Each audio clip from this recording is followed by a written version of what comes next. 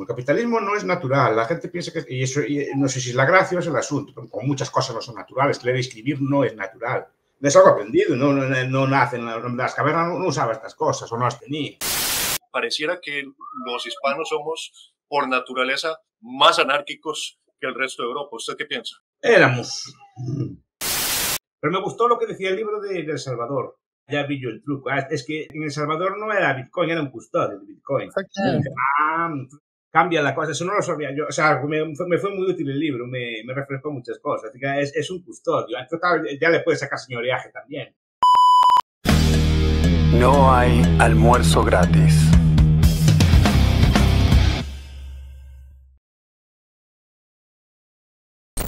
Hola, hola gente, bienvenidos a No hay almuerzo gratis. ¿Se acuerdan? En otras oportunidades yo he dicho, este es un programa especial, bueno, este es el verdadero programa especial. Está con nosotros hoy el profesor Miguel Ancho Bastos. Bienvenido sea usted a este programa.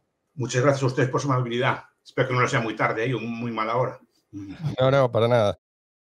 ¿Ustedes tenían alguna duda con respecto a el impacto, si de Internet es más beneficioso que perjudicial? Bueno, creo que hoy se va a disipar esta duda. Estamos desde todas partes del mundo asistiendo a este momento. Está entonces con nosotros, lo voy a presentar brevemente, no voy a presentar a todos los demás, vamos directo al grano, vamos a aprovechar la generosidad que tuvo el profesor de concedernos esta entrevista. Él es economista, politólogo, creo que la mayoría de nuestros oyentes lo conocen por su condición de divulgador de la ciudad de la libertad.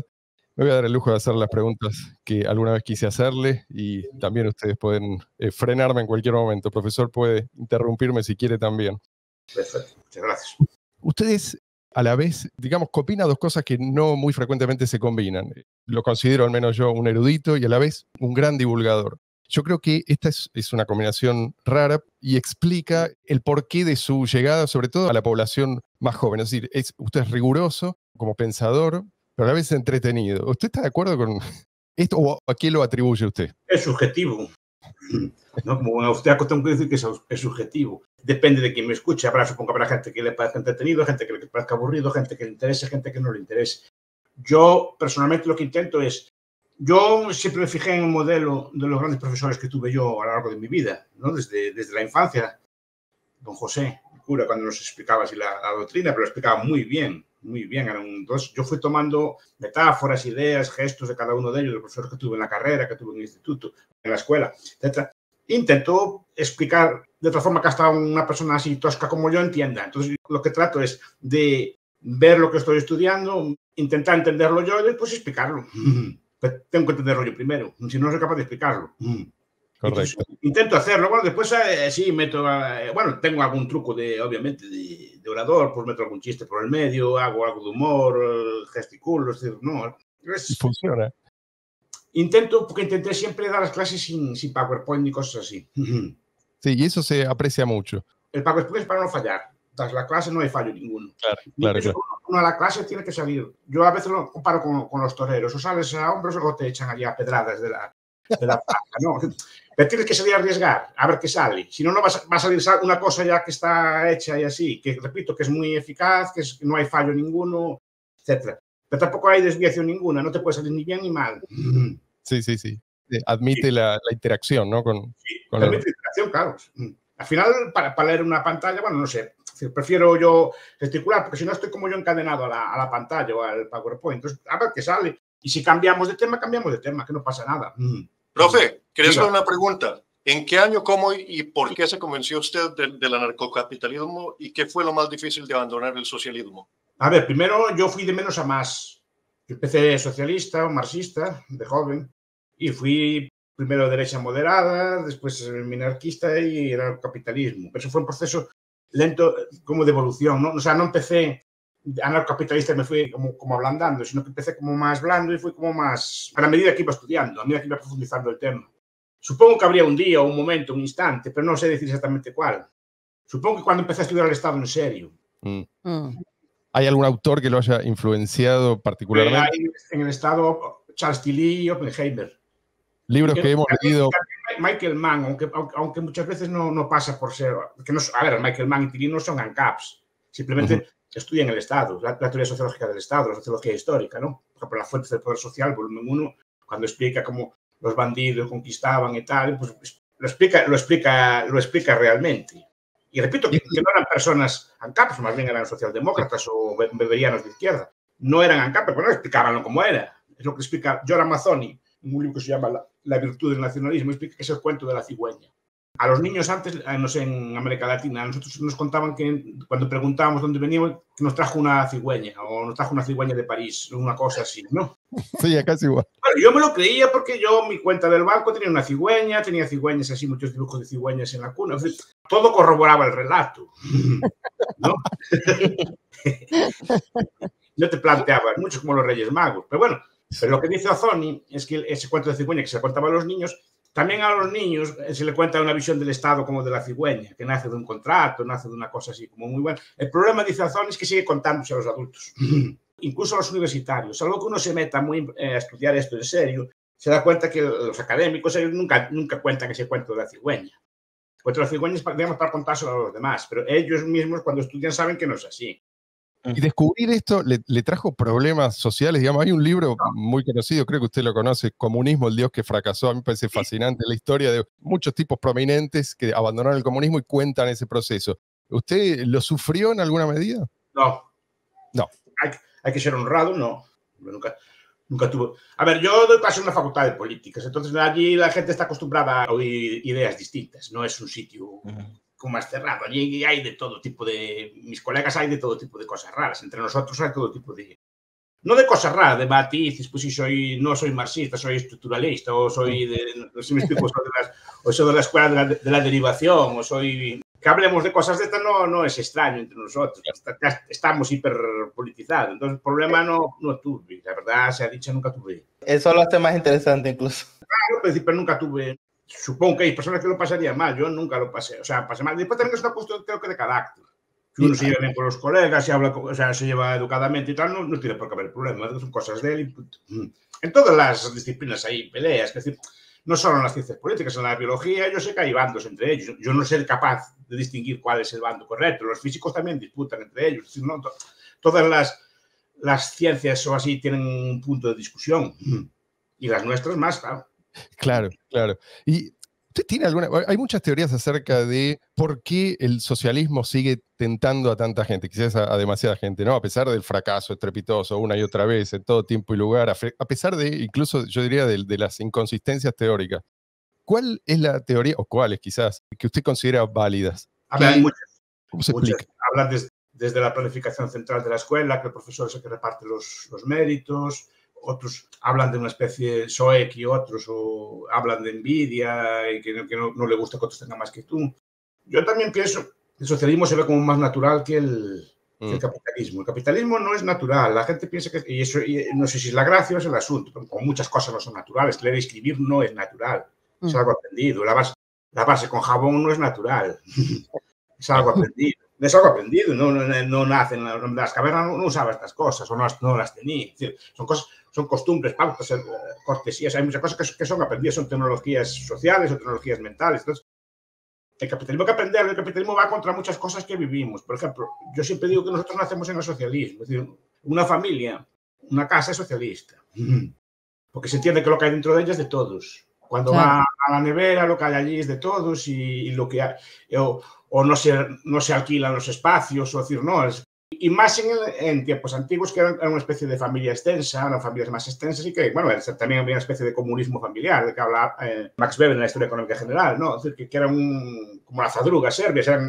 los aperos de labranza, todo era, era común, era familiar. Entonces, vivimos normalmente en, en, entornos de pequeños que son socialistas y incluso el mundo del joven, del adolescente, se entiende que tiene que compartir las cosas. Es decir, que se puede... Decir no sé cómo hacen ahí, pero si uno llega con una bolsa de pipas o de patatas fritas, pues reparte con los compañeros. Sí, sí, sí, claro, claro. entonces, eso es lo que vemos como más intuitivamente. El capitalismo no. El capitalismo hay que explicarlo. Pero claro, es, claro. es, como cambiar una disciplina mental. Mm. Mm. Y aparte, el capitalismo es contraintuitivo porque va también contra nuestra visión del tiempo y del consumo. En el sentido de que lo normal es ganar, gastar, ganar, gastar, ganar, gastar. Claro. El capitalismo hay que ahorrar y, y, cuidado, y no ahorrar para un bien, no para consumirlo después, sino para invertirlo de forma sistemática. Eso, eso hay que aprenderlo. Profesor, ¿usted cree que nuestra civilización actualmente está en tiempos de decadencia? Es que depende cuando estuvo bien. o sea, yo lo que digo, a, mí me gusta mucho Daniel Bell en las contradicciones culturales del capitalismo, ¿no? Por ejemplo, otros libros cuando dice el capitalismo muere de éxito. Mm. También tenemos un Peter, que es muy interesante. En, en este caso es un Peter cuando habla de que el capitalismo no, tiene una coraza protectora, no tiene héroes, no tiene santos, no tiene mártires, no tiene una literatura, no tiene mitos. Entonces es, es muy difícil de defender una, una idea así. Mm. Es, muy difícil, porque nadie da, la, una persona puede dar la vida por la patria o por, por la religión o por, por, su familia, pero, pero, no da la vida por, la, por una industria, no da por el, por el, por el Dow Jones, ¿no? Es decir, no... No, claro, no, pero claro, eso hace, hace difícil que sea defendido. Nadie se va a partir la cara por él. Quiero decir, no. Bueno, están los héroes randianos, ¿no? Que un poco juegan sí, ese rol. No parece que hayan tenido mucho éxito. Aparte, no sé si serán unos, unos seres muy populares. A mí no me parecen unos seres especialmente atractivos. No, pero, pero, pero bueno, podría ser ese tipo de héroe, ¿no? Pero yo creo que hay que, explicarlo, habría que explicarlo mejor. Ahora, decadencia. Yo creo que, por ejemplo, en el, mundo, lo que llamamos occidental, ese espíritu capitalista lo perdió. Mm. Ya no está en Occidente. Ya hace tiempo que no está en Asia o está en otras zonas. Teníamos ese impulso de, lo que digo yo siempre, de, ir para adelante, de ahorrar, de trabajar. Yo, yo, creo que, en cierta manera, precisamente por esto del capitalismo, que lo que dice Bell, pues eh, se está perdiendo. A propósito de, Asia, quería preguntarle cómo compararía usted la gestión de las políticas económicas de Albert Vincemius en Singapur de Lee Kuan Yew versus la de Albert, Alberto Yastres Calvo, ah, que habiendo estudiado a Juan de Mariana fue el ministro del Milagro Español. Sí. A ver, Franco no quería hacer, a, diferencia de Lee Kuan Yew, que sí quería esto, Franco no le gustaba nada, por lo que cuentan los historiadores. Eh, me meten un tema que no soy, especial, no soy especialista pero por lo que sé, Franco no le gustaba mucho esto del capitalismo ni esas cosas así. Pero claro, a finales de los años 50 España estaba como estancada y, tenía problemas económicos. Entonces, como que se vio impelido a abrirse a los mercados. Y Ullastres estaba ahí, Ullastres y otras personas. Empezaron a... Y tampoco fueron que fuera mucha simplemente empezó a desregularizar. La economía franquista era una economía muy regulada, con precios controlados, salarios controlados, control de alquileres. Era una economía muy... En los primeros tiempos del franquismo había cartillas de racionamiento yo aún, aún, recuerdo haber visto las de mis abuelos en casa, que, que había unas cartillas, como, como, como en muchos países, es decir, que, que se daba la comida atrasada y había pues, mercados negros, todo tipo de cosas. Y lo que hizo él fue abrir. A poco que abrió fue cuando empezó a crecer España. ¿Y usted cómo ve hoy en no, día? No, poco, ¿eh? Porque en cuanto vieron que aquello prosperaba, ya intentaron ya empezar otra vez a... Pero lo poco que abrió o lo que abrió, ya bastó. ¿Y usted cómo ve hoy en día la sociedad española con respecto al Estado, con respecto al paternalismo? Es en cuanto, por ejemplo, a generaciones, los más jóvenes, los más viejos, ¿cómo lo ve? ¿Cómo, cómo ven en los Yo españoles? Veo, un avance en las ideas de los jóvenes de estas cosas. Creo que en Argentina no se ve más, ¿no? Yo a mí, cuando yo era joven, no, yo no sabía que había esto.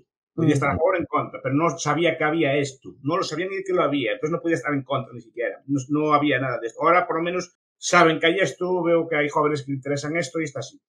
¿Qué pasa? A mí lo que me sorprende, por ejemplo, en el caso de Milei en Argentina, esto, es cómo puede ganar una persona en un país los países de nuestra cultura, Italia, España, Argentina, se cuentan entre los más anticapitalistas de la tierra.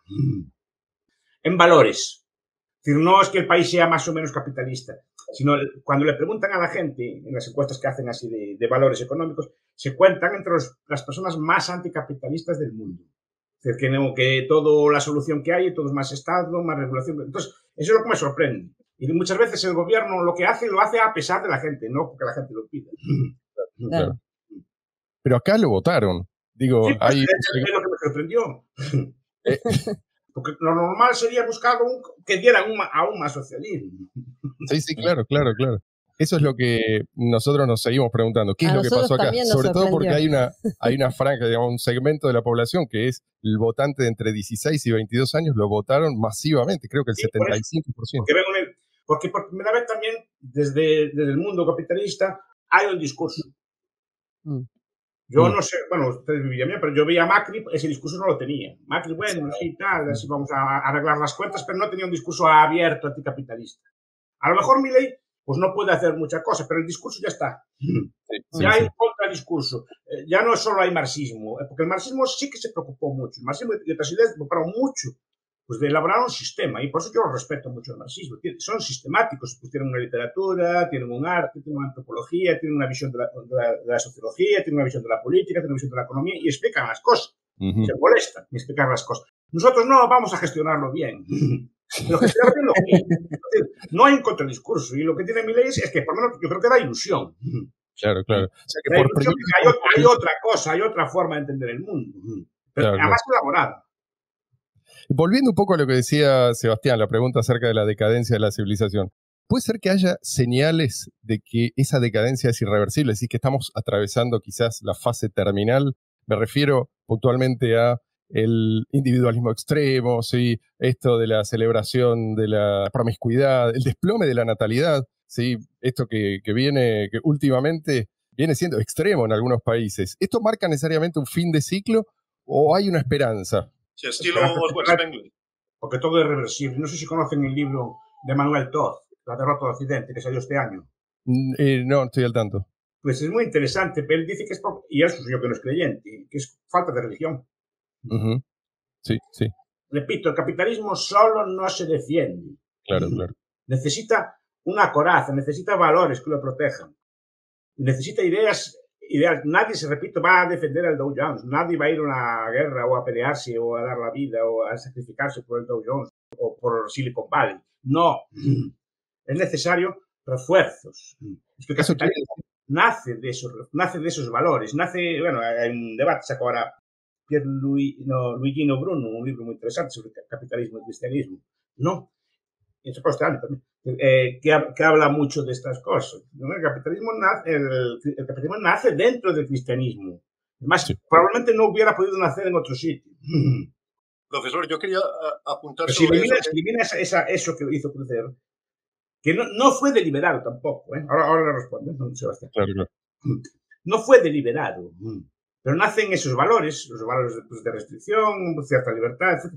¿no? básicamente eh, son religiones, las cristianas, las que, llevan pues, a, pues, a, restringir el consumo, a controlar el propio cuerpo. Hayek decía que para ser libres tenemos que esclavizar nuestras pasiones, tenemos que esclavizar nuestro propio cuerpo, si quiere llamarlo así, reprimirlo. En el sentido de que no estamos todo bebiendo, tomando, comiendo, pues, así un poco capitalismo habría. ¿No? Es necesario cierta represión llevar una vida ordenada, y claro, pero eso normalmente se hace en culturas más o menos religiosas. Es una, una explicación larga. Ella, Weber tuvo mucho en ella. El profesor Gil Villegas le llama la guerra académica de los 100 años, ¿no? porque son 100 años intentando explicar el papel de la religión en la construcción del capitalismo. Uno de los grandes debates académicos, pero sintetizando mucho. Pues una entrevista yo creo que sí que tiene que haber unos valores religiosos previos para, para existir Y si, si derribas eso, al final acabas, digamos, mm, descomponiendo porque no hay, no hay nada por lo que luchar, así en, ese sentido. Se entiende. El solo no, llega. Mm, mm. yo, quería preguntarle acerca de eso, porque usted mencionaba la tolerancia a las ideas diversas que hay en, las instituciones universitarias. Esto también lo ha mencionado el, el catedrático González Maestro. Y a mí me parece que pareciera que la secularización mayor del mundo anglosajón en comparación a la hispanidad es lo que los ha hecho más de un pensamiento único dirigido por el Estado. Porque yo me acuerdo, por ejemplo, que Molyneux, que fue el que me convenció a mí al anarcocapitalismo, decía, yo soy políticamente ateo, no creo en la existencia ontológica del Estado, algo que le he escuchado decir a usted. Y yo me pregunto, ¿usted cree que será precisamente porque la hispanidad es una civilización, una cultura más como Dios manda, es decir, más ah, tradicional, más cristiana, que esto tiene algo que ver con el auge de mi ley, mientras a Jordan Peterson lo censuran en su propia universidad. No sé, supongo que son culturas, son culturas distintas y, con estas ideas de la, de la censura, de la corrección política, que estaban muy presentes, ¿no? Pero la, la idea es esta. Supongo que es un viejo debate también, como estaba diciendo, y supongo que tiene que ver con eso, aunque no es estricto, repito lo que estábamos hablando. El debate de Weber es mm, sobre el protestantismo, pero otros autores, Rothbard, dice que es el catolicismo. Yo creo que algo que, es, que, el catolicismo es, tan o, más propenso que el, que el protestantismo capitalismo. De hecho, el, el, capitalismo, las primeras nociones nacen, en, nacen con los franciscanos, mm, ¿no? con Olivi y San, San Bernardino, etc. y después con, los, con, la, con las ciudades estado italianas que empiezan a crear la contabilidad, y empiezan a crear una serie de cosas y crean los montes de piedad, ¿no? que son que son primitivos bancos modernos, ¿no? Esa idea de, católica favorece mucho, favorece mucho el capitalismo. Y Roba dice que, de hecho, a día de hoy no, el capitalismo no, no, desmerece para nada al protestantismo en cuestión de rollo, en cuestión de cosas Pero claro, tiene, tiene, una visión distinta de la vida, tiene una visión, si quieren, menos estatista. Aunque puede ser, al final el Estado crece en todas partes, ¿no? Pero es una visión menos estatista, precisamente porque la Iglesia modera el papel del Estado. Mm. históricamente, la prestación de, de, de, obras sociales así estaba a cargo, a cargo de las iglesias, ¿no? están siendo sustituidas por el Estado o, por, o por la educación, otro tipo de cosas. Entonces, claro, esa resistencia al Estado fue, fue mayor o, y sigue siendo mayor en, en los mundos. Entonces, es, repito, en, cuestión de capitalismo no, no, desmerece nada. Yo siempre, digo que comparen las dos Alemanias, la, la, del sur y la del norte. ¿Y cuál es la más capitalista de las dos? Mm. ¿Cuál es la católica y cuál es la no? Pero no solo eso, en, en Irlanda, la, la, del norte, es decir, no desmerece para nada. Mm.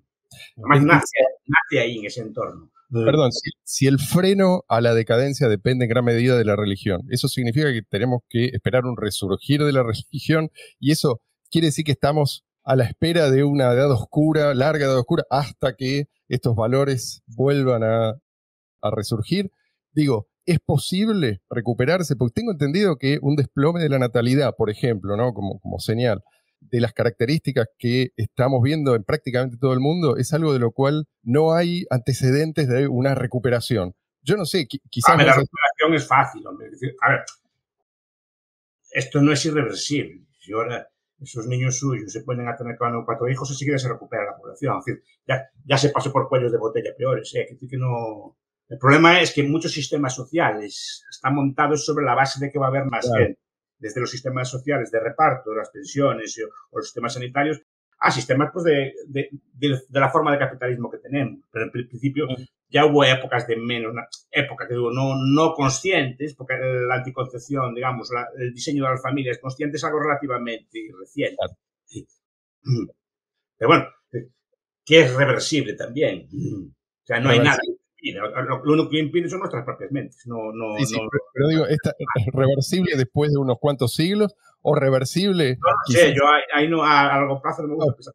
Yo lo que digo es, Malinowski, que también que fue un antropólogo, un filólogo casi antes de morir, Libertad y Civilización, un pueblo que le quitan la religión es un pueblo que se descompone. Lo, lo dice como, como antropólogo. Se descompone. Lo vio en muchos pueblos mm, que estudió él como antropólogo, ¿no? Cuando se sustituye una religión o le elimina cosas, como que se pierden los valores y esa sociedad se descompone. Pasó a, muchas tribus en Norteamérica, etcétera, que le pierden la, digamos, la religiosidad tradicional, no la sustituye por otra y al final acaban, acaban como, no, no sería la palabra decadencia, pero bueno, como perdiendo los valores que, que, hicieron, que hicieron aquello de una nación. Y nosotros, según todo, yo no soy, no soy antropólogo, no lo sé, dice que pasa algo semejante. Estamos en, grados cero de religión, ¿no? Que se, que se abandona todo. Claro, no, no hay, no, no hay una cohesión social, se, se, se abandonan los valores podemos vivir un tiempo del eco, del eco del, pasado, pero otra cosa que después empiece a, a, perder como fuerza, a perder como, como fuerza, ¿no? a perder como espíritu, ¿no? Mm. El espíritu de que vamos para adelante, vamos a ir para adelante, vamos a criar a los hijos, vamos a... No, nos invitamos a vivir bien, nos invitamos a, a disfrutar del eco, a disfrutar del pasado, pero no, no veo yo un emprendimiento, vamos a construir un mundo nuevo, vamos a hacer cosas, ¿no? O sea, ese espíritu que tenían, que tenían nuestros antepasados, nuestros abuelos, no lo, con sus defectos también, ¿no? No lo tenemos nosotros. O sea, hay una falta de convicción. Sí. No hay nada por lo que luchar, simplemente somos, como dice John Gray, somos bacterias evolucionadas, ¿no? ¿Qué es lo que dicen los, muchos científicos? Somos bacterias, somos bacterias evolucionadas, ¿no? Ni siquiera tenemos libre arbitrio. Entonces, ¿para qué vamos a...? A molestarnos. A molestarnos, pues vivamos, no sé, como, como una bacteria. Pues, no, tiene, no, no, tiene sentido ninguno, no tiene sentido ninguno de trascendencia de, de, de aparato. Pues, somos una bacteria, pues somos una bacteria, pues vivamos como una bacteria. No, creo que no, no, estoy haciendo una caricatura, que a lo mejor se, se puede entender así, ¿no? pero claro, porque es ese tipo de discursos que pueden estar bien y pueden estar fundados, incluso no estoy entrando yo en eso que tampoco sé de esos temas, ¿no? Pero claro, esto, los discursos modernos muchas veces denigran al... Antes éramos hijos de Dios y a imagen y semejanza, ahora somos una bacteria así como más artista. una bacteria que después unos, unos peces con unas patas que salen del mar y tal, y de ahí vale, puede ser, no estoy discutiendo eso, pero el propio discurso no tenemos somos todo condicionados por neuronas y cosas así, vale, pues muy bien, pues vivamos así. ¿qué, lógica tiene? ¿Para qué vamos a trascender? ¿Para qué vamos a intentar construir o crecer o que nuestros hijos vayan mejor? ¿No? Sí, sí, sí. Yo que, es muy, muy autosubversivo. Yo quisiera hacerle una pregunta, porque cuando yo fui en el año 2013 a hablar en Inglaterra, iba a sustituir a un tipo que se llamaba Van Crevel, el, historiador militar que decía que el Estado a largo plazo no va a poder autosostenerse y defenderse. ¿Usted cree que en la guerra perpetua contra esos que se llaman la nación-Estado hay que oponerse a todas sus políticas, excepto cuando se defiende la propiedad y el cuerpo de los individuos, de tal manera que esa sea la única métrica de lo bueno, es, es decir, el desmontaje y no resultados determinados como políticas económicas. A ver, si quedamos de acuerdo en que en los orígenes del Estado son esos que explicamos antes, ¿no? No sé si esa lógica cambió, ¿no? No sé si el Estado es capaz de llevar a cabo una política económica. Eh, llevar a cabo puede hacerla, que puede llevarla con éxito es otra cuestión. ¿No? ¿Y, en qué medida? Porque son las ideas modernas también de que el Estado puede gestionar las cosas, puede gestionar la economía y puede dirigirla y, controlarla. El problema ya no es si es bueno o malo, que eso es otro debate, el problema es si puede. Mm. Tiene la capacidad de gestionar otra cosa, porque es una arrogancia muy grande. Yo, yo, voy, yo sé quién sé, ¿eh? Voy a, con mis datos macro, con mis estadísticas, con mis curvas y mis cosas así, voy a dirigir la economía y la voy a orientar hacia el crecimiento o hacia el decrecimiento o hacia la igualdad, hacia el objetivo que tenga, hacia la teleocracia que tenga en su momento. ¿no? El problema es que si puedo. Ahora estamos con la transición verde. Yo leí un señor que se llama Václav Smil, que es muy bueno, este libro que se llama mm, Energy Transition, sí, eh, sí, transiciones energéticas, pero está en inglés Fíjate, mire, esto no se puede hacer. O sea, no se puede hacer planificado. Mm. Ah. Llevar, llevar, a tener las energías que tenemos llevó cientos de años y es la mayor infraestructura que conoce el ser humano. Mm.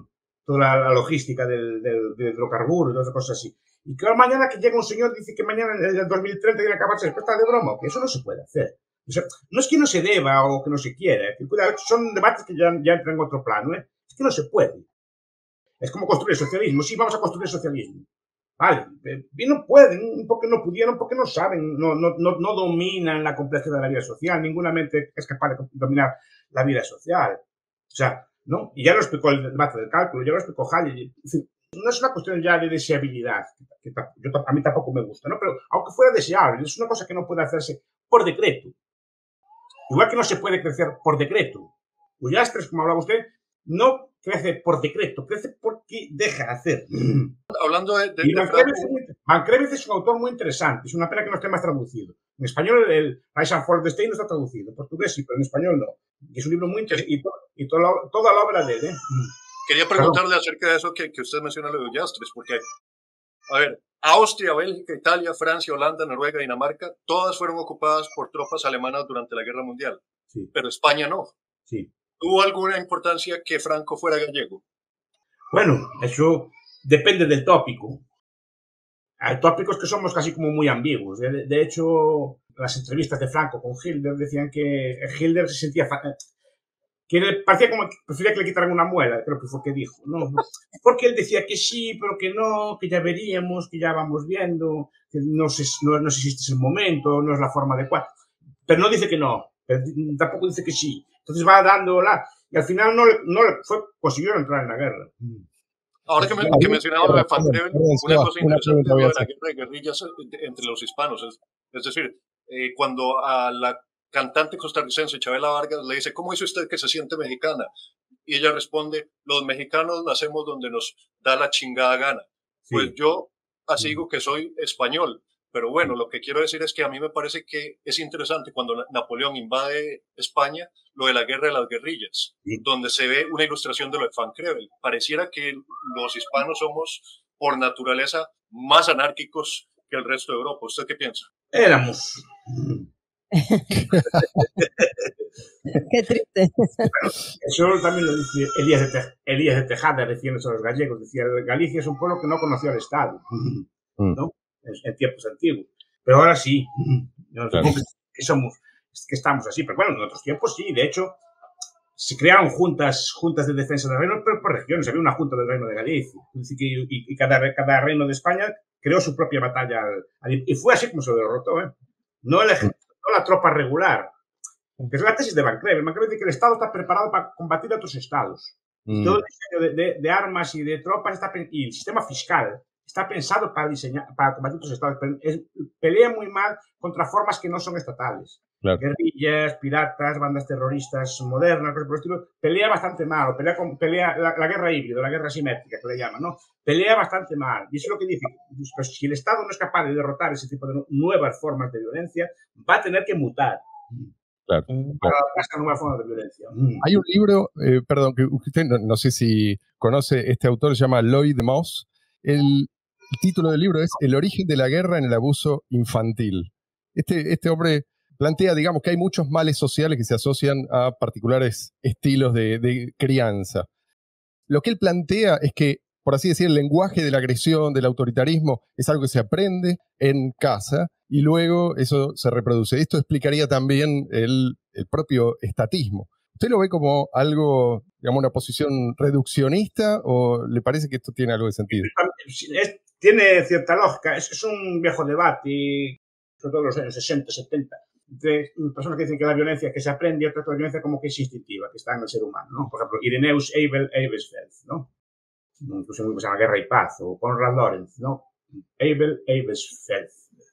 Ya, no, nombre ya, no se conoce. Pero decía que sí, que la guerra como, como instintivo, o Conrad Lorenz. Por ejemplo, ¿cómo se llama este? Monta, Ashley Montagu, decía que, que, es aprendida. Y de hecho conoce, conoce explica de, de tribus pueblos que no conocen la, la violencia organizada. Puede ser entonces que tenga razón. Este, no conozco el libro que me cito, ¿eh? Puede, puede ser que tenga algo de razón, que a lo mejor es la crianza o a lo mejor la cosa por Puede que no sea instintivo. Mm. Él básicamente dice que si la crianza fuera buena, no habría guerras. Obviamente esto tendría que ser a nivel masivo, ¿no? Pero mm. hizo un estudio muy profundo acerca de esto y yo quería conocer su opinión.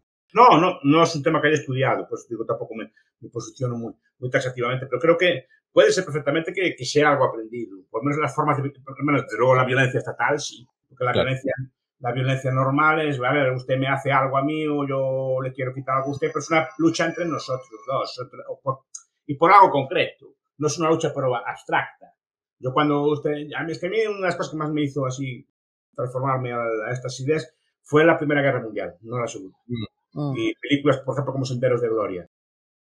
Pero vamos, estos señores están en su casa, están labrando el campo y dicen que hay que pelear contra unos señores, él era francés, ¿no? Que hay que pelear contra unos alemanes y que no me hicieron nada, que son, son jóvenes como yo, que no me hicieron nada. Y tengo que matarlos con una muerte horrible. Además, con no, ni siquiera en pelea física, sino con gases, con cañones. Pero una cosa que te destroza, son, son muertes bastante cruentas. Sobre todo la guerra moderna. Te, hace pedazos, es decir, no es una cosa de una cuchillada, es que te hace pedazos y explota. y, y masivamente, cuando lees que en una mañana mueren 50.000 personas, son, que fue el camino de las damas, ¿no? En una, en una batalla, y muertos a ametralladora limpia, es decir, ¿no? Y dice, y creo, que, creo, que, fue ahí, igual estoy hablando de memoria, creo que murió la, flor, la flor de la juventud británica, muchos escritores, por supuesto, que estaban reclutados en, en ese sitio. ¿Por qué? ¿No será que, que, somos mal agradecidos y que más bien vivimos en un auge que nunca hemos visto y que no lo vemos, que creemos que vivimos en tiempos interesantes, pero que es en verdad el efecto de que el Internet magnifica todo, como lo de la guerra en Ucrania, que tiene eh, drones y uno lo ve en YouTube, etc. Sí, pero tiempos interesantes a mí no me gustan, ¿eh? prefiero los tiempos aburridos. ¿eh? Yo también. Sí, a mí no me gustan los interesantes, aquellos historiadores que decían que benditos sean los pueblos en historia. No, no, pero uno ve Polonia, en Polonia hubo historia, Primera Guerra Mundial, Segunda Guerra Mundial, revueltas, aplastado después por los, primero por los nazis, después por los otros, es decir, una cosa que ahí tuvo historia, todo el mundo pasando por encima de ella, un lado de otro, donde vivo yo, gracias a Dios, no, hace 200 años que no viene nadie, nadie de fuera, no, una guerra abierta, la última fue la guerra civil, y, y ya, fue, ya, ya fue bastante, ya bastante tenemos con ella, ¿no? Pero es decir, que no hubo una historia muy agitada y pueblos como el suyo creo que también debían ser benditos. Es decir, que no, gracias a Dios, no, hace tiempo que no tienen, no tienen guerras y no son a gran escala. Usted ha dicho en una entrevista, eh, y creo que acertó, que el Estado puede existir digamos, en respuesta quizás al tecno-utopismo, ¿no? Esto de que con las criptomonedas, con la amplia adopción de las criptomonedas, entonces ya nos libramos del Estado. Y usted decía, cuidado, porque el Estado ha existido sin dinero fiat. ¿sí? Quizás tendría menos poder, pero no es que no existe, y sin duda tiene razón. Existió con oro, y, se financiaba con oro. Exactamente. cuidado. Puede coger, puede coger la moneda, la moneda cripto y darle la vuelta también. ¿eh? Sí, sí, sí, desde ya. Y eso ha pasado, yo creo. Pero la pregunta es, la, la primera pregunta es esta. ¿Usted considera que un Estado moderno, es decir, un Estado habituado a disimular la agresión, ¿sí? a financiarse por medio de la emisión, del endeudamiento creciente, puede hacer esa transición ¿sí? a la violencia explícita? Porque, vamos, sin dinero fiat, el Estado tiene que mostrar más los dientes, ¿o me equivoco? Sí, tiene que mostrar. Porque para financiar las cosas tiene que ser financiado con impuestos, literalmente. Exacto. Aunque la deuda pública es un impuesto, pues es un impuesto como diferido en el tiempo, etcétera, es una cosa como más aguada, ¿no? Pero sí, claro, normalmente lo, lo, que pasa es que el, dinero estatal, el dinero fiat, mi fiat es, el día de hoy, mi fiat es, sí. da la imagen, ya los conté alguna vez, da una imagen de omnipotencia del Estado. Hay un problema, una inundación, inyecta miles de millones. Hay una crisis y el gobierno, la Reserva Federal, inyecta dinero. Hay una pandemia, el gobierno inyecta y, estimula, ¿no? Eso como ahora no se puede hacer. Exactamente. Por eso yo me pregunto... si... conflicto, ¿eh? Es no se puede hacer. y ese poder no lo tiene. Claro. que el poder de, la moneda fiat es que le puede a usted literalmente liquidar sus ahorros, si se da cuenta. Yo siempre digo, lo cité alguna vez también, Bujarin decía que la inflación es como una ametralladora contra el capital. Mm. Y Bujarin sabía, Bujarin estudió con los austriacos, estudió con von Babel. fue de los sí.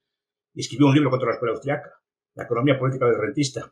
Él, fue, es que von Babel le dio clase a los mejores marxistas también, le dio clase a mí, pero también le dio a los mejores marxistas, a Bujarin, a, a no sé si le dio clase, pero andaba en ese círculo, Tobagua también andaba en ese círculo.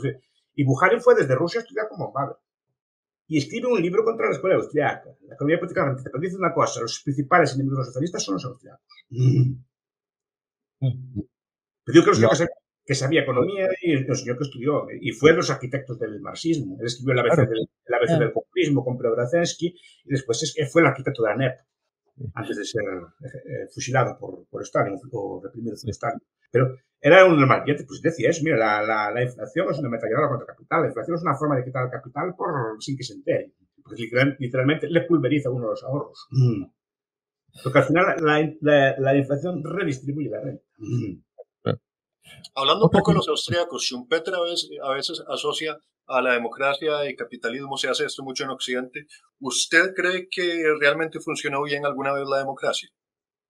Schumpeter sí, es, Schumpeter es muy irónico, como estas cosas. Eh, cuando hablamos de democracia, escogemos entre dos élites. dentro de la élite, una parte de la élite frente a otra parte de la élite. No escogemos a, no es una elección popular, sino que escoge a una persona que ya está instalada en el poder frente a otras personas que ya está instalada en el poder. Escoge, como digamos, entre, entre oligarquías, por decirlo. Pero es que depende de que le llamemos democracia. Mm. El problema es que la democracia es una palabra tan amplia y que no es, que no es fácil de definir a ver, si, democracia entendemos, por ejemplo, Estados Unidos o así, pues funcionó relativamente bien durante bastante tiempo. Otros dirán que eso no era una democracia, que era una oligarquía, que no, pues digo, es importante saber a la que estamos, a qué estamos hablando, cómo poder funcionar si tiene unos valores claros y la democracia el alcance, no la democracia, el alcance de la democracia está limitado, es por una constitución, una constitución fiscal, que ya, pues mira, no, no se pueden cobrar más que tales impuestos, no se puede eh, regular determinadas cosas, ¿no? Que tiene que haber elementos no democráticos que frenen la democracia. de hecho, la democracia, sin estos elementos extrademocráticos, no funcionaría. Una, cosa que usted mencionaba en un video del otro día, que, que es gracioso porque lo vi, e inmediatamente dije, esto lo tengo que poner como nota al pie de página de mi libro, era lo del Liberum Vetum del, del Parlamento polaco. Y esa me parece una, una, de esas instituciones que son imprescindibles, al menos para frenar algo, contrarrestar al Estado. Porque yo no sé si mi ley llega a ser un Lee en Argentina o no.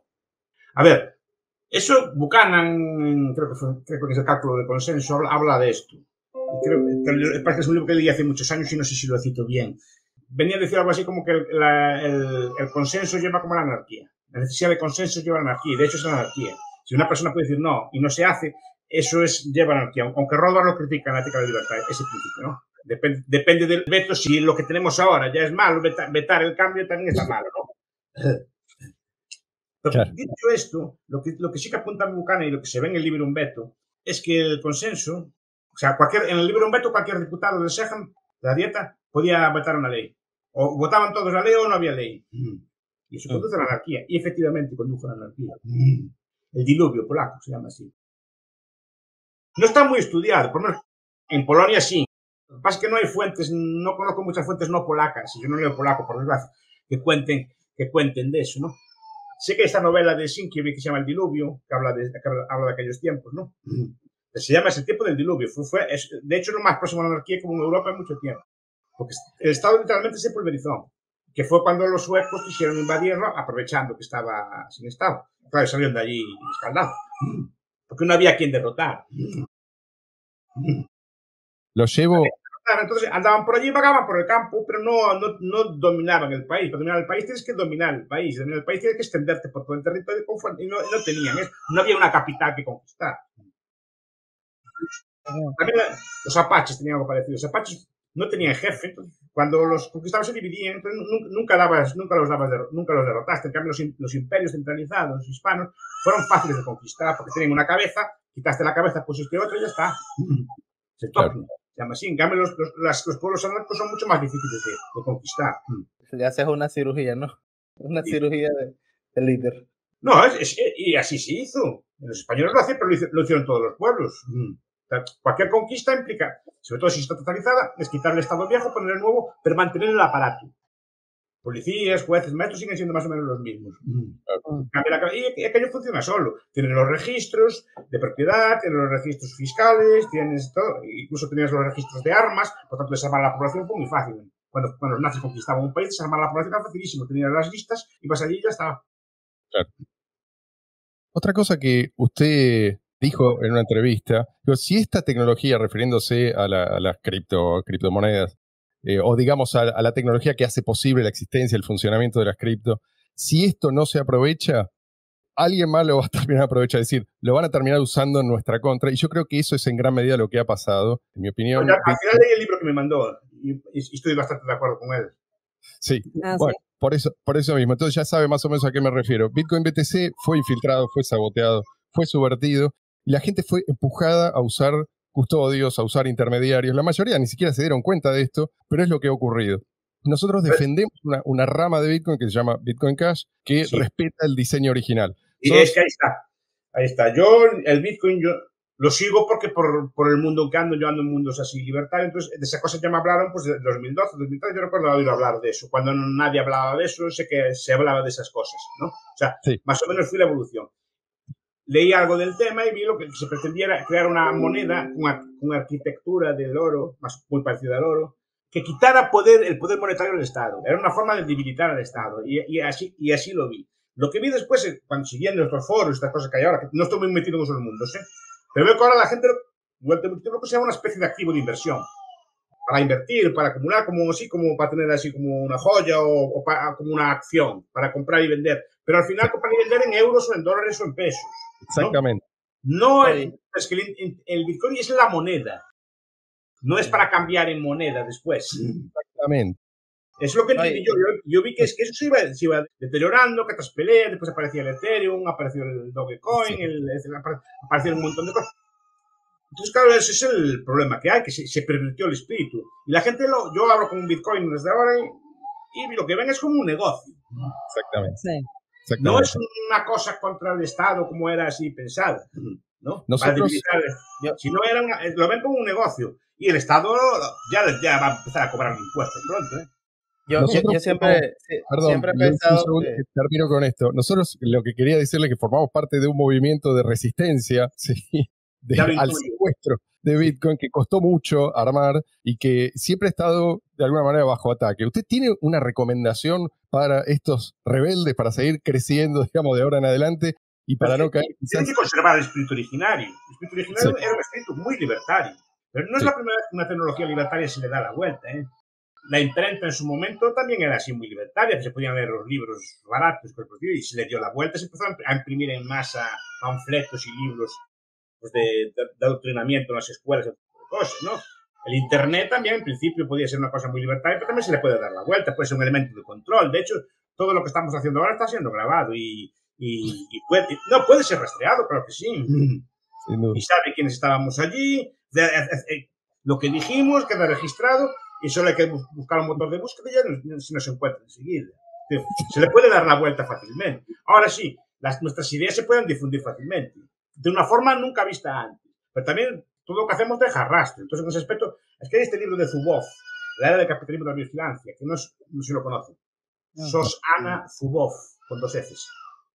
Eh, nota. La era del capitalismo de la vigilancia, que va de esto. Y no es una autora próxima a otros pero eh, a mí ese libro me asustó también. Es decir, mire, eh, que estas empresas, primero colaboran todas con el Estado, todas filtran, todas en, cualquier estado, todo lo que tienen se lo dan al Estado o, están apoyadas por él y después que están, literalmente pueden vigilarlo todo. Mm. Que no lo hagan es una cosa, porque pueden hacerlo, sí. Mm. Miren el crédito social chino. Sí, claro. que no lo hagan nuestros gobiernos quiere decir que no puedan hacerlo. La tecnología ya está ahí. Sí, sí, sí. Profesor, usted que mencionó mi, mi, mi pueblo, yo diría que Costa Rica era la provincia que los republicanos separatistas le robaron a la monarquía más pacífica de España. Yo quería hacerle una pregunta, mi pregunta final sobre eso, precisamente, y es que los catalanes de izquierda no contexto de la Unión Europea quieren se separar para aumentar las rentas los políticos catalanes con subsidios a las lenguas y naciones pequeñas. No hay eso a regla de que el separatismo es bueno para la libertad. El separatismo es bueno para... ¿De quién es esa frase? Esa es una frase que yo se la atribuyo a Leopold Kohr y nos llega por Jope del Breakdown of Nations, de romper las naciones en unidades pequeñas. Que estoy, esto... estoy, meditando, estoy meditando bastante y estudiando bastante el tema. Yo creo que sí. De hecho, mis, tesis para acercarse al capitalismo es, la secesión, microestados, estado cada vez más pequeño. Cuanto más pequeño es el estado, más próximo, más próximo ve, más, próximo, más ve más claramente que puede funcionar sin él. ¿Usted cree que fue por eso? Y, más cerca está la, la, presión de la gente de, y más, cerca más cerca está la presión de la gente y más, tiene, y más opciones tiene usted de salir. ¿Usted cree que fue por eso que se ganó la reconquista? Que mientras que los califatos eran centralizados, la confederación de reinos cristianos eran pequeñas unidades. No, hasta me atrevería a decir al contrario. Precisamente como en, las taifas, por ejemplo, cuando, cuando el reino musulmán se dividió, fue una etapa de prosperidad. Nunca le dicen eso en los libros de texto. Y yo creo que si el Al-Ándalus subsistió precisamente fue porque estaba descentralizado. Mm. Mm. Y al revés también. Varios reinos pequeños le pueden al califato. O le van comiendo terreno al califato, sí, lentamente. Pero sobre todo, es una cosa, bueno, en el norte no eran taifas, pero también eran reinos pequeños. Pero las taifas están muy mal tratadas por la historia. Las, taifas son uno de los ejemplos históricos de confederación de estados. Perdón, de constelación de estados, que se, que llaman así creo que es Cork le llama así. Constelación de Estado, por ejemplo, fueron las polis griegas. Constelación de Estado fueron las ciudades-estado del, del, Renacimiento en Italia. Claro. O las taifas. Mm. Creo que los mayas, me corrigen que más, también eran así. Los mayas también, en su época de esplendor, eran muchas ciudades, no eran una sola. Tenían una misma cultura, pero fragmentada políticamente. Porque, es, porque, porque una misma cultura tiene que tener un único estado. Puede haber una misma cultura, que son aspectos lingüísticos, pero fragmentada en varios estados. Mm volviendo a, a, lo de Bitcoin, yo siempre he dicho que lo que cambió quizás sobre el oro fue la analogía, ¿no? Eh, antes la gente se imaginaba una moneda de oro digital, ahora se imagina un lingote de 40 kilos cada vez que compra y, lo deja guardado ahí eh, tomando polvo. Sí, sí, sí. El oro teletransportable. La idea era oro, pero teletransportable. Sí, no, oro literal. El oro vale, el oro vale, por eso los profesores del patrón oro defienden el oro circular. El oro tiene que poder circular. Si no, al final es un lingote. El oro usted puede, debería poder, como está excluido, comprar con él en una tienda. Y no solo oro, oro y plata. Claro, nosotros los hispanoamericanos al dinero le decimos plata. Y la idea es que se utilice como, como dinero, como plata. Porque son las dos cosas. Normalmente no hay un, los sistemas históricamente eran bimetálicos, no eran metálicos. Si, si uno se inflaba mucho, la gente se cambiaba al otro. que no, y, y, para pagos distintos, incluso para ahorros. en una época de crisis o así, que haría falta volver al oro, el oro solo no llega. Con que compra una barra de pan. Tendrá que usar plata, tendrá que usar otro tipo de moneda, decir, por eso le llaman plata también así, o son sistemas de ese estilo, ¿no? Sí. Y efectivamente, ahora que es un lingote de oro, por un lingote de oro de 45 kilos, no vale para nada. Si no puede circular después. Por ejemplo, el, como depósito de valor, ahora hay una guerra, lo que sea, ¿no? Pues eh, con su lingote de 45 euros, ¿a dónde va? no, ¿a dónde va? Por eso el oro que puede que ser oro amonedado para subsistir. Tú dices, no, pues ahora, yo recuerdo cuando fue a Corralito, ustedes son muy jóvenes, no se acordarán, pero yo me, yo me acuerdo de ver en la televisión Con, con, una moneda de oro de un peso. Dijo, ¿quién dijo que el peso perdió valor? porque, porque ese peso del siglo XIX se cambiaba la par por el billete. peso. Sí, sí. El precio de valor fue el, el, peso de papel. El peso de oro sigue valiendo igual que siempre. Claro, como, como medio de intercambio, mejor plata electrónica que oro electrónico. No, es que por eso tiene que haber eso del escalado y estas cosas así, que repito que me meto en cosas de este estilo, pero normalmente tiene que, no puede, tiene que usar monedas mm, del token en la calderilla, tiene, tiene, tiene, que haber cosas de esas, porque si no muchos cambios no se pueden hacer. Incluso, si hubiera una, así una catástrofe o así, tipo corralito así, con su lingote de 45 euros, ¿a dónde, a dónde va? Puede subsistir, comprar comida. Pasó en las guerras en Europa, hay muchas, no está, no está muy estudiado, pero hay muchas experiencias monetarias en Europa. Claro, cuando se pierde el dinero oficial eh, o el dinero está en discusión porque hay una guerra y el dinero oficial deja de valer, las campesinos a cambio de comida quieren oro. Pero no le va a dar un lingote de 45 euros, de euros. Tendrá que dar una monedita pequeña o tendrá que dar de plata. Es decir, no le va a dar un, por, una, por unas cebollas un lingote de 45 euros. El lingote está muy bien como el pero no, eh, no tiene muchas cualidades del dinero, que es fácilmente transportable, divisible, cambiable y cosas por el estilo. ¿Qué cambio le dan? cómo le dan la, la vuelta, ¿no? Y, el oro, el oro, los viejos decían que tiene que circular también, o por lo menos poder circular, para que siempre haya una reserva, para que el banco no, no guarde el no, no lo empiece a guardar, pues si sabe que lo puede reclamar en cualquier momento el oro, no lo, no lo presta, no lo represta por ahí. No hace coeficientes de caja de estos así bajos. Tiene que poder circular, o por lo menos teóricamente poder circular. Sí, sí, sí. Ese es justamente el problema que Bitcoin vino a resolver. Si uno tiene que depender de una u otra forma de custodios, entonces se pierden las ventajas. Y esto es algo que dice... pero me gustó lo que decía el libro de, El Salvador, que ya vi yo, la, ya vi yo el truco. Ah, es que, es que eh, en El Salvador no era Bitcoin, era un custodio de Bitcoin. Ah, cambia la cosa, eso no lo sabía yo. O sea, me, me fue muy útil el libro, me, me refrescó muchas cosas. Es, es un custodio. Entonces, ya le puede sacar señoriaje también.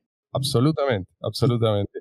le cambio un poquito de tema, si usted me permite. Inteligencia artificial, un gran avance sin duda, tanto que algunos piensan que esta vez la humanidad de alguna, por, por, alguna razón no se va a poder adaptar, a diferencia de lo que pasó con otros cambios tecnológicos en el pasado. ¿sí? ¿Esta vez usted cree que realmente es diferente? ¿Pueden los humanos quedar obsoletos?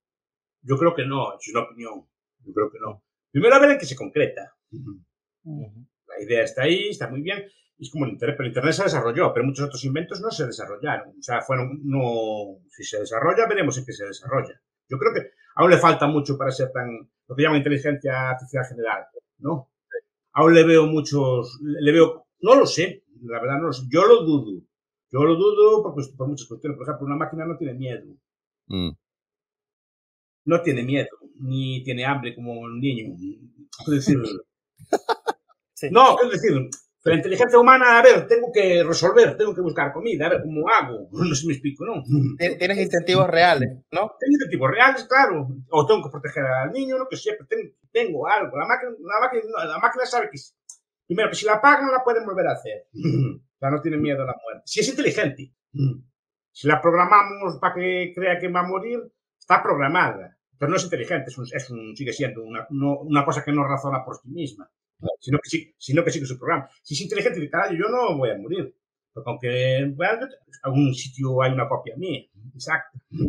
¿No? Y después, ¿qué me pueden reparar? O me pueden, cosas que el humano aún, aún no se encontró. Esa solución, ¿no? Entonces, el miedo a la muerte, el hambre, el, el miedo, el tiempo. El tiempo es una categoría de la acción. Yo sé que me quedan, no sé, 30 años de vida, una cosa así, ¿no? No sé cuánto duraré, o al menos o al más, no sé. Pero a ojo, ¿no? La esperanza de vida de mi país es esa. ¿no? vale, entonces, ¿qué no puedo hacer de todo? Claro. Tengo que limitar lo que puedo hacer. Yo no podía poderme estudiar la lengua etrusca ¿no? Que no, no vale, poder podía, pero pues mira, me queda un año, no, no la voy a dominar y no sé si hay cosas mejores que hacer. O sea, tengo que optar, mm. más decisiones. Mm. ¿no? no tengo tiempo infinito, pues para gastar con todo el mundo ni, ni, en todo tipo de cosas. Entonces, tengo que, pues, mi, mi, poca inteligencia tiene que ser usada en, en, en, en escoger las mejores acciones y eso también me, me, mueve y sabe que el tiempo se me agota, tengo que buscar las mejores de las opciones posibles. La máquina es de tiempo, se podemos programar que también mm. estará programado, no será inteligente. Mm. Y sabe que no, no, yo tengo, tengo todo el tiempo del mundo. Mm. Yo creo que lo que usted menciona aquí también trae un concepto moral, que es el de la virtud. ¿Cómo va a tener un, virtud una máquina? porque el valiente siente el miedo tanto como el cobarde, pero no deja que le paralice. Es decir, persigue la virtud. Si las decisiones las centraliza una máquina, ¿qué va a saber una máquina de lo que es sentir miedo y, no ser cobarde y ser eh, corajudo? No, y probablemente tenga problemas éticos de lo que está bien y está mal. No quiero decir que no, sea, que no tenga una capacidad de cómputo brutal, que no nos pueda hacer unas cosas muy grandes, porque de verdad hace maravilla. Yo lo veo en el mundo de la traducción, es una maravilla y cada vez, cada vez es mejor y en muchas cosas. Pero ese fenómeno ya lo vimos antes, en otros ámbitos, ¿no?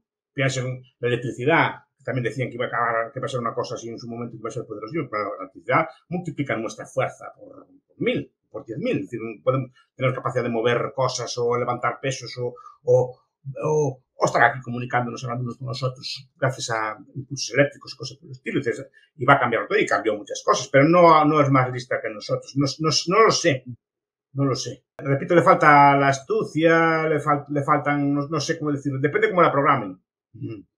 Es interesante.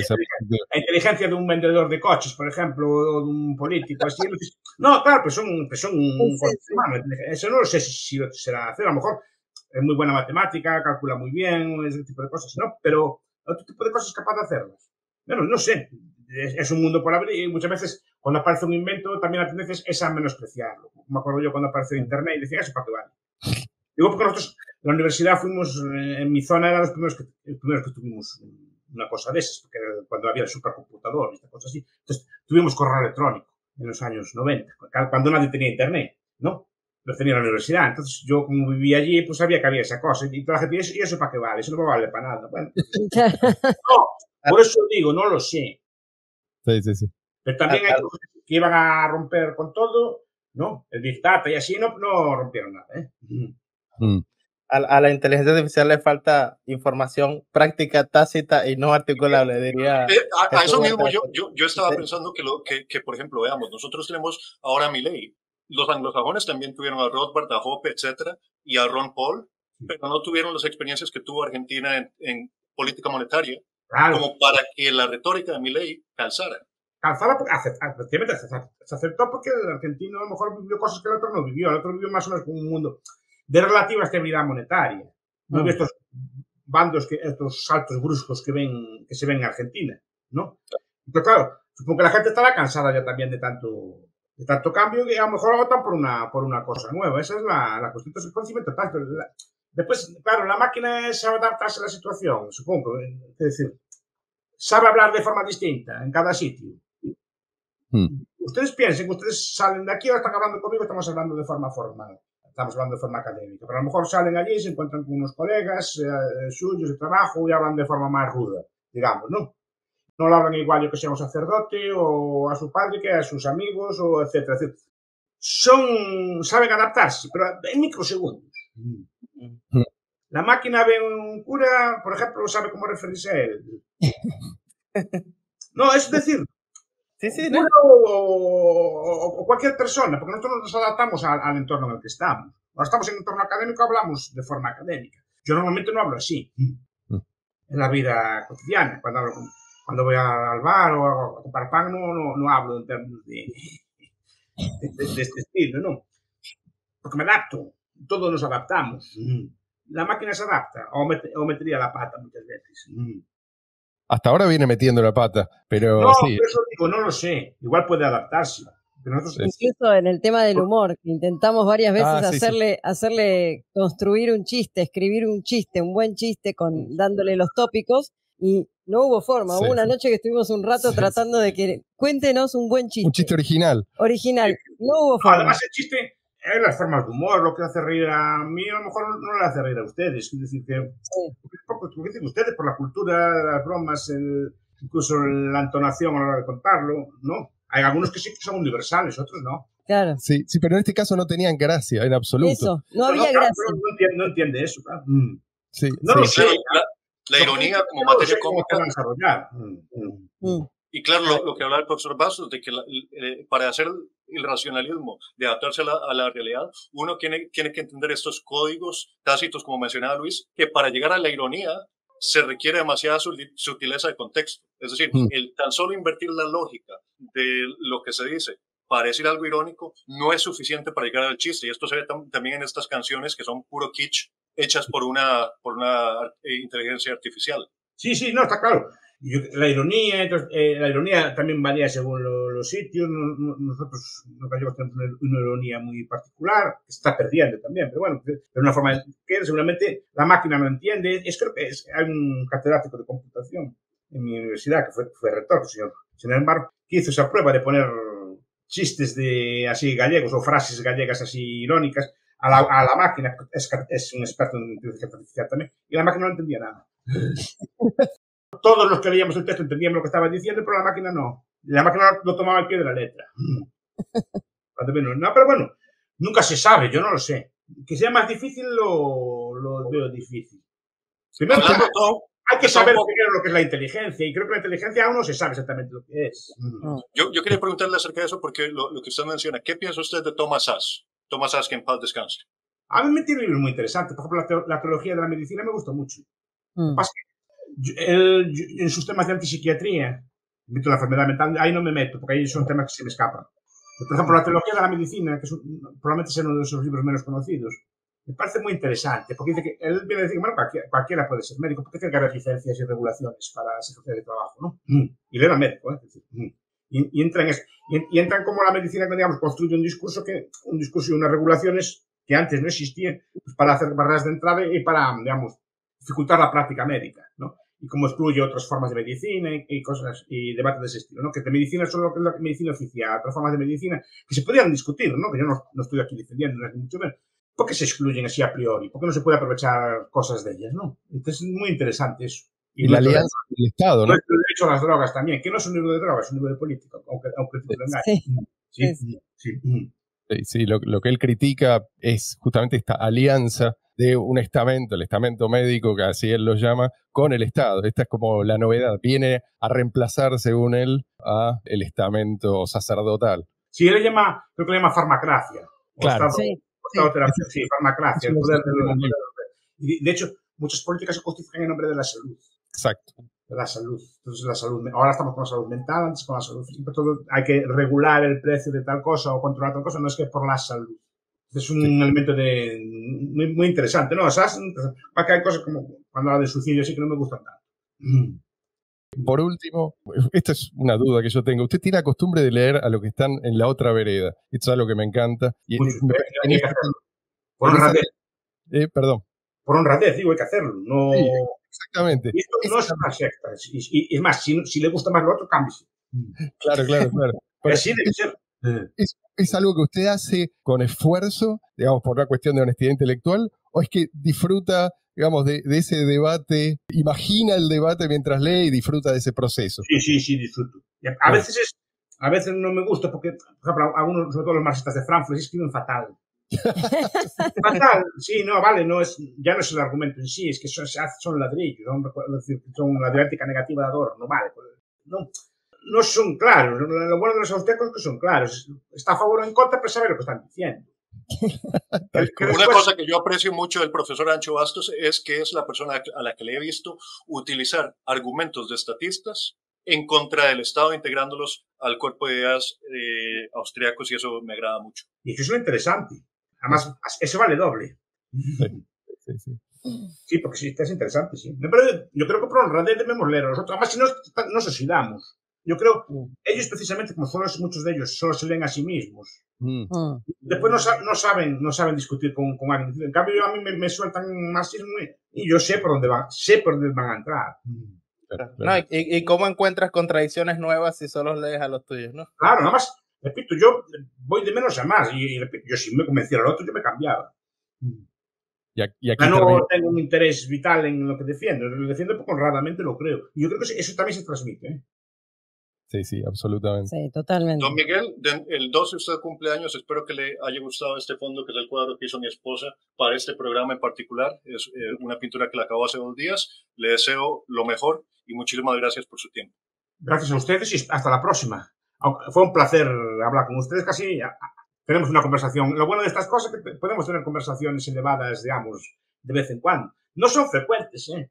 No son frecuentes, pero en el día a día normalmente estas conversaciones no se tienen hablamos de eso. como es normal, ¿no? Entonces, estar un rato hablando con gente así ilustrada siempre es un, siempre es un placer. Mm. Estamos muy, muy ansiosos por le agradezco muchísimo, no solamente por la generosidad de concedernos esta entrevista, sino también por el trabajo que hace usted cotidianamente. Usted no se da una idea de la cantidad de personas que ha despertado del, letargo estatista, por así decirlo. pues sea para bien, no para mal. Sin duda. Pues un abrazo y gracias a ustedes. Chao. Me paso, a despedirme entonces de la gente que nos escucha. Muchísimas gracias por estar ahí. Espero que hayan disfrutado tanto como nosotros. Nos volveremos a encontrar la semana que viene en un nuevo episodio de No hay almuerzo gratis. Saludos. Muchas gracias, profesor. Hasta ustedes. Hasta la próxima.